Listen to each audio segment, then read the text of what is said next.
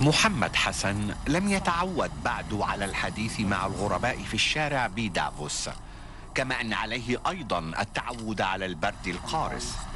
محمد وصل إلى سويسرا مباشرة من مخيم للاجئين في كينيا حيث العديد من الناس يائسون.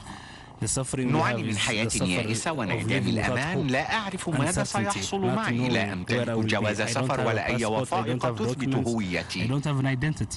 لا يعرف سوى مخيم كاكوما للاجئين في شمال غرب كينيا على الحدود مع دولة جنوب السودان حيث يعيش 185 ألف لاجئ. لا يسمح لهم بمغادرة المخيم إلا بتصريح ومحمد قضى هناك 22 سنة. ما أريد أن يعرفه الناس أننا بشر نحن لسنا حيوانات لا خنازير ولا ذبابا إننا نستحق الكرامة لدينا أحلام وأمال نريد مكانا في المجتمع لم يفقد الأمل قط وتعلم رفقة آخرين كيفية استخدام الكمبيوتر ليصبح متحدثا باسم اللاجئين الشباب في المخيم. لذا تمت دعوته إلى المنتدى الاقتصادي العالمي في دافوس.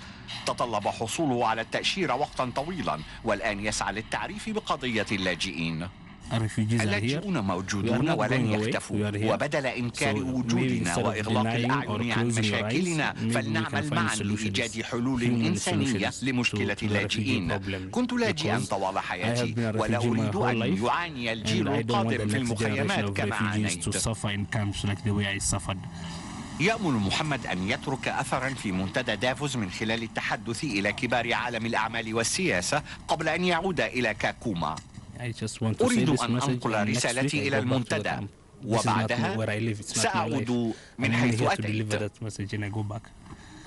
ما سيعيشه في سويسرا سيشغل باله لوقت طويل.